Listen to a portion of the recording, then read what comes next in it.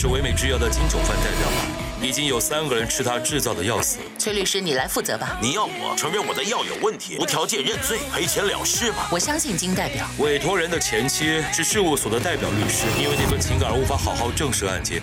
我对你而言就只有不好的回忆吧。从今以后和罗检察官断绝关系，这才是保住您的唯一办法。不管过去的回忆是什么颜色，我是因为想见你一面，才自愿接下这个案子。